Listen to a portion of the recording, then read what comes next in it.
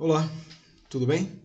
Sou o professor Marcos Roberto e vamos falar aqui sobre pedagogia em espaços eh, não escolares e suas principais funções, ok? Bom, eh, a educação não se limita apenas a polos educacionais. A mesma pode ser encontrada em qualquer âmbito e deve ser trabalhada em todos os lugares, pois dessa forma garantir-se-á né, um melhor desempenho de um maior número de indivíduos. A educação ela é um processo imprescindível para o desenvolvimento humano e profissional de um indivíduo. Nos séculos passados, ela não era de fácil acesso a todos os indivíduos, não atingindo as classes menos favorecidas. Com o passar dos anos, a partir do século XX, é, a educação passou a ser um direito de todos, né? independentemente de sua condição social, e dessa forma, é, percebe-se como ela conseguiu atingir um amplo desenvolvimento, colaborando com o crescimento social.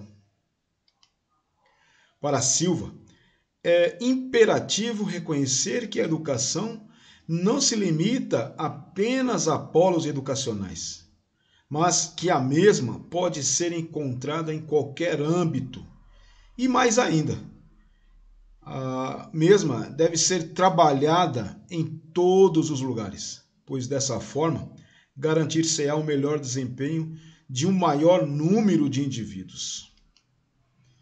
Entende-se a pedagogia como uma ciência do ensino que começou a se desenvolver no século XIX. Ela estuda diversos temas relacionados à educação, tanto no aspecto teórico, né, quanto no prático. E seu objetivo principal consiste em melhorar o processo de aprendizagem dos indivíduos através da reflexão, sistematização e produção de conhecimentos. Como ciência social, a pedagogia está conectada com os aspectos da sociedade e também com as normas educacionais do país. O início da pedagogia advém dos tempos mais remotos, com sua origem na Grécia antiga, historicamente falando, né? Período em que a religião já não era capaz de responder a todos os questionamentos por defender um pensamento crítico fundamentado apenas em crenças divinas e buscavam-se respostas para fatos reais que aconteciam na época. No Brasil, ela se remete ao período imperial, em que a educação não era priorizada. Logo, não havia obrigatoriedade de um método pedagógico específico para o ensino. Sendo assim, o país não contava com uma identidade educacional e, por isso, eh, seus projetos tinham como referência os pensamentos e ideias de, dos europeus né, e norte-americanos aí. Desta forma, construíram-se escolas e se desenvolveram projetos. Deste período, a pedagogia passou por várias transformações até os dias atuais. Paulo Freire, com sua progressista pedagogia, deixou um grande legado e seu método contribui até hoje para alfabetizar os excluídos. Aranha explica que a sua pedagogia permite a aplicação dos conceitos analisados em uma amplitude maior, ou na própria concepção libertadora da educação. Já Ortega alega que a finalidade da educação é humanizar o homem e torná-lo emancipado né, para exercer com cidadania seus direitos e deveres. Ou seja, a educação é caracterizada enquanto uma ciência que busca a humanização dos indivíduos e que preza pela emancipação do sujeito a fim de torná-los seres mais críticos, reflexivos e autônomos. Sendo assim, eles poderão atuar de forma significativa em prol do exercício da cidadania, fazendo valer seus direitos e, sobretudo, sabendo de seus deveres. Em 1939, nasce oficialmente o curso de pedagogia no Brasil, né?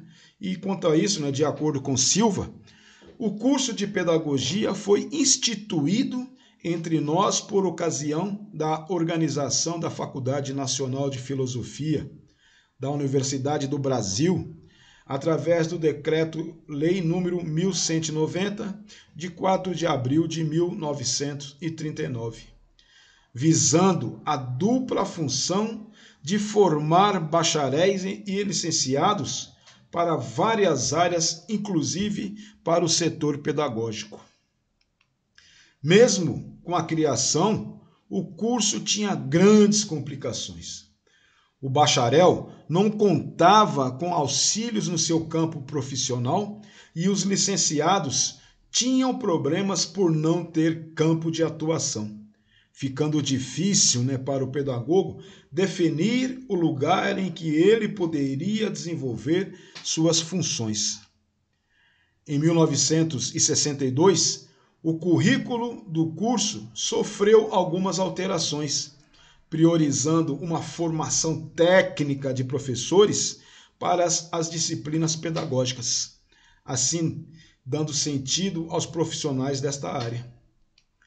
De acordo com essa ideia, desenvolve-se o argumento de Brzezinski, que diz: a tendência de a formação do professor das séries iniciais de escolarização ser a base da identidade do curso de pedagogia, leva à conclusão de que vem se concretizando a previsão de Valnir Chagas, né, feita no parecer 251 de 1962. Nesse sentido, o curso de pedagogia retoma sua vocação inicial que encontra origens remotas na antiga escola normal e na escola de professores de Anísio Teixeira. Em contrapartida, Franco argumenta que a docência não é a base identitária né, da pedagogia. Ele acredita que a ciência pedagógica é que deve fundamentar a prática docente, ficando evidente que não é a pedagogia que faz o docente, e sim o docente que se faz por suas ações pedagógicas. Libânio caracteriza o profissional da pedagogia como alguém que pode atuar em várias instâncias da prática educativa, direta ou indiretamente, dentro ou não de uma organização. Porém, tendo objetivos de formação humana definidos. Pode-se dizer, então, que o campo de atuação do pedagogo é bastante amplo, não podendo apenas ser resumido ao ambiente escolar. No fim da década de 1960, surge então o termo educação não formal, usado para definir os campos de atuação da educação fora do ambiente escolar fator recente para a área da educação. Para Souza e Ferreira, a atuação do pedagogo em espaços não escolares possui muitas possibilidades. Ele deixa de ser aquele profissional pronto para atuar somente em salas de aula. Sendo assim, podemos afirmar que a educação acontece em diferentes situações em que há uma relação dos indivíduos e, simultaneamente, uma troca de conhecimentos e compartilhamentos de suas experiências. Assim, conforme os autores supracitados, é importante lembrar que o pedagogo inserido dentro dessa perspectiva de atuação tem mostrado a profissão com um caráter um tanto quanto multifacetado, com características variadas, ou seja, tem trans, transpassado uma profissão em que as atividades docentes não estão centralizadas somente dentro dos muros da escola e que ela não é resumida apenas em uma relação entre educador e educando.